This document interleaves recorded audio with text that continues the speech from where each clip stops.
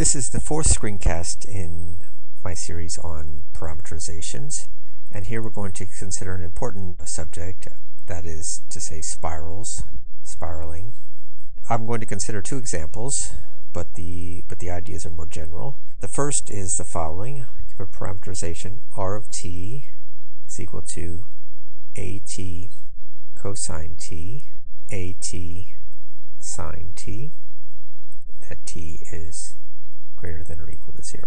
So the emphasis here in this section is on the following idea, that what I have here is a cosine t and a sine t, and the coefficient, as it were, in front of this, the pre the prefactor in front of the cosine and the sine is the same for both for x and y.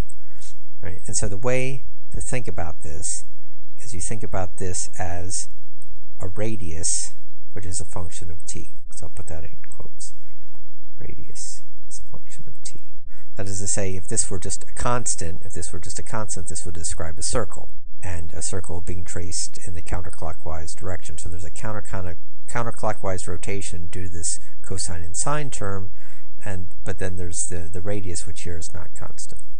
So let's look specifically. In this case, we see that, uh, in fact, this, this radius term is simply equal to at.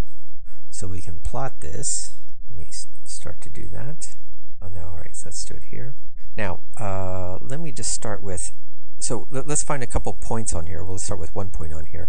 I want to, uh, ideally, you think you'd go to where, where t is equal to 0, because then I, um, I if a, this were just a circle, that would correspond to, um, to this point on the x-axis, but when t is equal to 0 here, this radius is 0.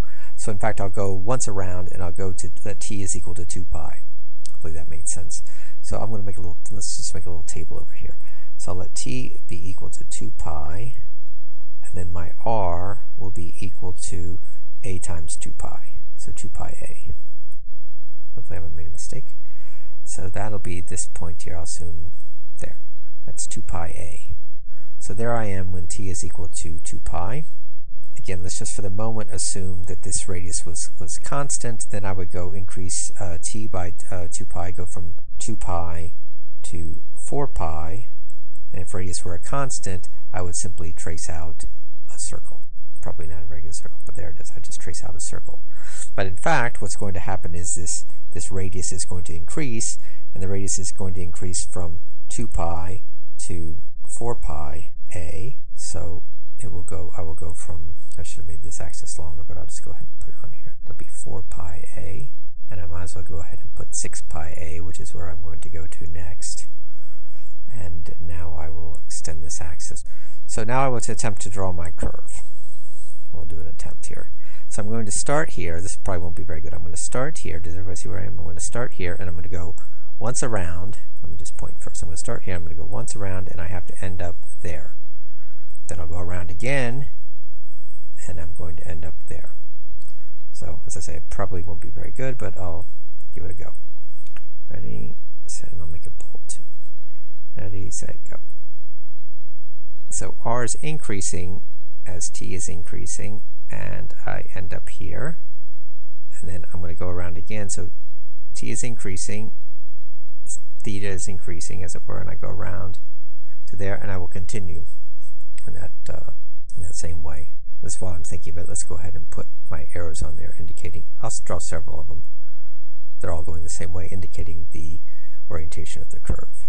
In fact, though, I started here at, at t equal 2 pi, but um, I can go down all the way to t equals 0, of course, t equals 0, and, and r will then be equal to 0. So let me just draw that part of the curve. So that part of the curve corresponds to one final turn, which I'll now draw in the backward sense to the orientation, but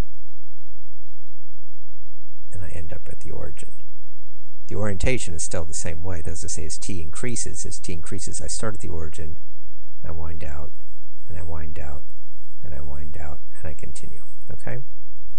Each with each wind I increase the radius by a by a fixed amount, 2 pi a.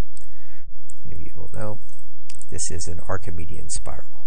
No, I won't put a box around it. Anyway, there it is, an Archimedean spiral. And it's often described, and you I'll let you work out that it's the same, it's often described as a curve for which the r in polar coordinates, r is equal to a theta in polar coordinates. And I will be discussing polar coordinates in the next screencast, so I'll, I'll wait and discuss that then. I have here a picture of an Archimedean spiral drawn with MATLAB, and um, I will put, I suppose, I'll put the little uh, MATLAB M file that I used to generate this uh, on the web page, and you can generate it yourself. But you can see here quite clearly it starts here at the origin and whops, wraps around, I'll leave that on there, it wraps around um, increasing the radius by equal spaces each um, each turn of the uh, each turn of the spiral. Okay, so that's an Archimedean spiral. I'm just going to break this um, this subject in, into two and pause here and come back on the um, on the next screencast and continue it.